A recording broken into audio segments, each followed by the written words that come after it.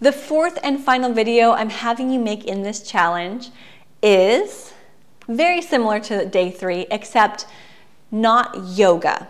So it can be a tips, it can be a how-to, it can be a step-by-step, but choose something that's complementary to yoga. How to use three basic essential oils for cleaning. or it can be something like the best face moisturizer for after your yoga practice. Or it can be the best yoga mat or the best prop. Something related to yoga practice, but not talking about the practice itself. Something that's going to help enhance your lifestyle. Maybe it's a product, it could be a service you really enjoy, it could be um, shout outs to your favorite teacher, it can even be story time. Story time is just getting on and sharing a little bit more about you. So I do that hopefully frequently as practice, and storytelling is a skill that you can learn. It is not something that comes natural to people.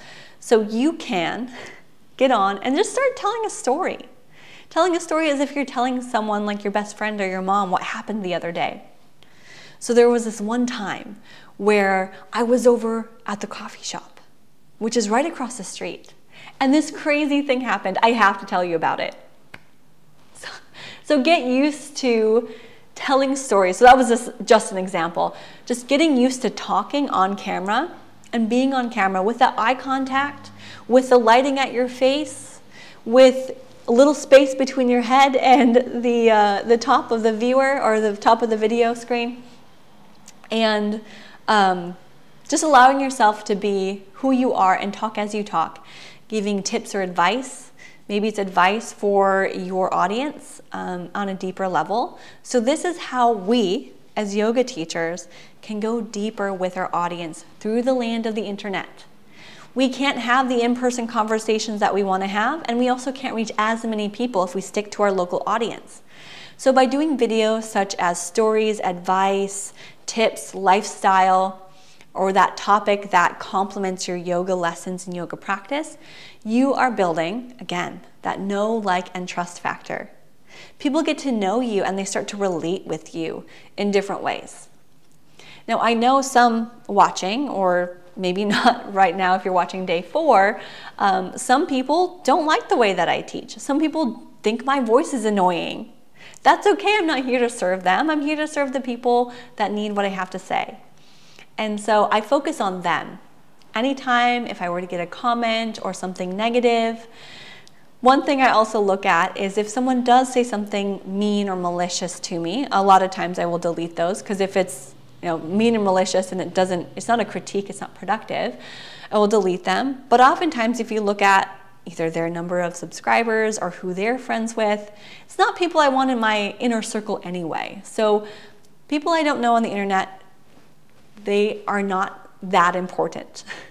Those who are not saying nice things or who reach out. Anyway, I won't get into like hater talk, but just know that those who need to hear your message will connect with you, and those are the people we focus on. Your energy goes to where you focus. When you focus on watching the news, I hope you're not. That's super, super draining. If you focus on the news and all the negativity and the drama, that's where our energy goes and it's going to feel very draining. If we focus on serving, helping, energizing, uplifting, doing our personal practice, that's what we're going to bring to the world. So we want to bring the joy, the positivity, and the light. So let's share a story time. Let's share some advice. Make sure you've got those three things in there your introduction with what you're going to tell people. It's also known as a hook. You're going to hook them and let keep them in there. Make sure you say your name and a call to action either at the end or the beginning, maybe both places, and then get into that section of where you're either telling a story or giving advice or sharing a how-to step by step. All right, so this is your last video. It's a little more open-ended, but I hope you continue with these three topics that you can keep doing over and over again with different themes and different headlines, so different titles. If you make a bunch of yoga lessons, if you make a bunch of tips videos, and if you make a bunch of stories and advice and lifestyle type stuff, you will have content for months, for years, and your videos don't have to be long. Remember, they can be five minutes, 10 minutes.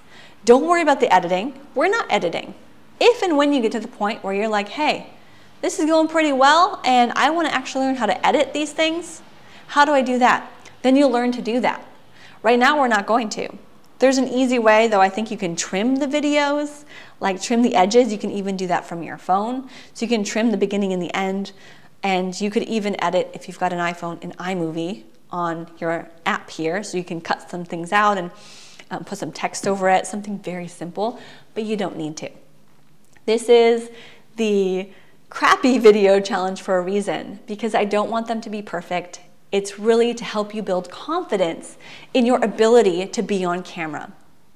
Less about what it looks like and how fancy it is.